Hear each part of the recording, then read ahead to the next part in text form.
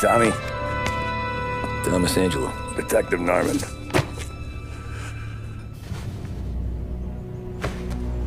You alone? no self-respecting badges coming in here unless it's the health inspector. What can I get you? Ah, just a coffee. Thanks. Dip your beak. No, thanks. Suit yourself. So, yeah.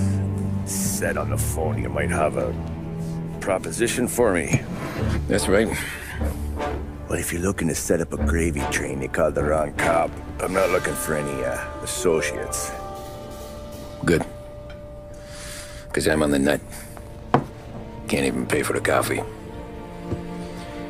But I got plenty to trade. Let's hear it. How long you been in town? Three years.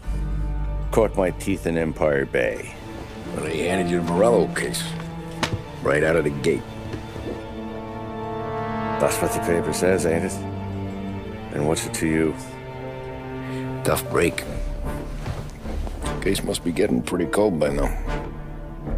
Or you got something might warm it up? Yeah. I might have something. And what's my end of the deal? Uh, you want money? Some sort of immunity? None of that. I got people I need to protect. Ah, families.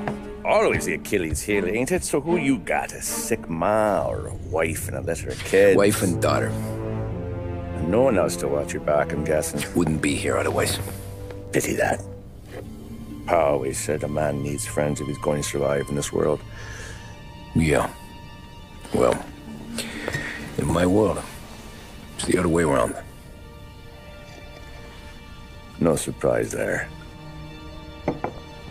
Look, I can't promise anything for your family, not until I hear what you're trading. So, are you talking? Or are you just killing time before they come for you? You think I'm on the run? Oh, I know it, Tommy. Jesus, look at you. Surely gassed. You haven't slept for days. And your neck's got to be aching from all that looking over your shoulder you're doing. No, the way I figure it is you got someone powerful mean on your tail and they ain't giving up until you end up in the river. And you walk out that door without me, we both know you're not making it five steps. But, yeah, you stick around, you tell me your story, and maybe you got a shot at living long enough to walk that girl of yours down the aisle. Either way, looks like I'm buying you a cup of coffee. Christ, I don't know how everything got so balled up. No one ever sees the hairpin until it's too late. But you didn't get handed a heater in the nursery, did you? No.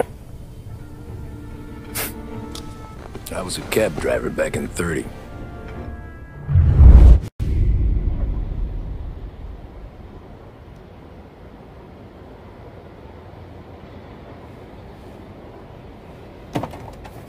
I mostly drove nights because the money was better. It was at the end of one of those shifts when I first met Paulie and Sam.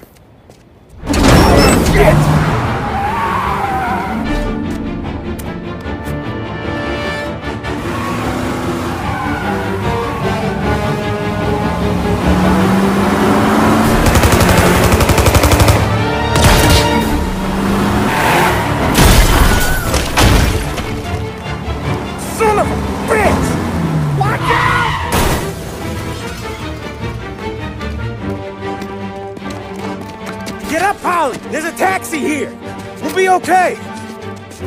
Move it! Come on! Where to? Anywhere.